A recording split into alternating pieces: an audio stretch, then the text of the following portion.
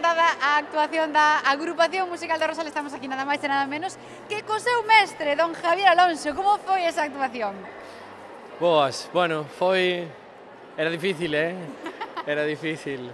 O camiño foi duro, pero, bueno, pois pues, mira, oito meses de traballo que pagaron a pena, pasámolo super ben. E, eh, e bueno, fixémolo o mellor que podemos, o mellor que, que sabemos, deixámonos todo. Bien, contentos, satisfeitos, moi satisfeitos, moi orgulloso da, Falamos ademais da xente da banda. de unha obra cunha dificultade moi alta. unha obra dunha dificultade absolutamente extrema. Eh, era super, super complicado, era un reto mayúsculo.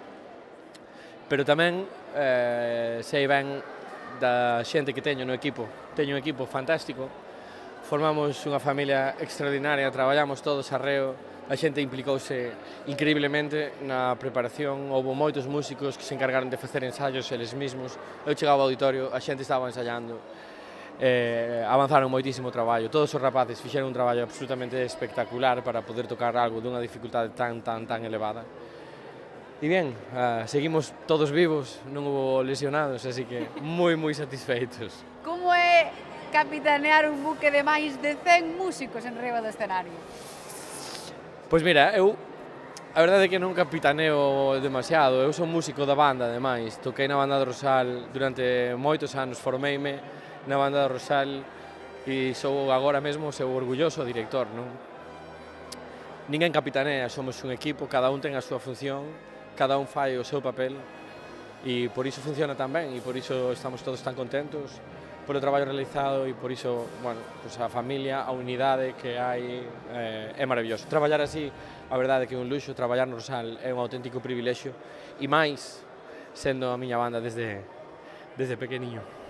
A música que se fai con amor, a música que se fai con paixón, de, desde logo, que rompe fronteiras e rompe esquemas. E ora que xa vemos todo ese traballo que queda atrás e que saímos dese maravilloso concerto, con que sensación nos quedamos?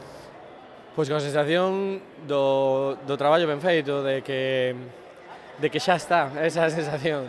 Se acabou, pasou todo, todo o estrés, os nervios, eh, se acabaron os mandalas, e, eh, e bien, agora a pensar xa uh, no seguinte reto, eh, isto non para e hai que, hai que pensar xa no seguinte. Un reto que estou segura que vai a comezar xa mañán e como definiríamos para rematar nunha única palabra todos estes meses de traballo, de esforzo e de dedicación?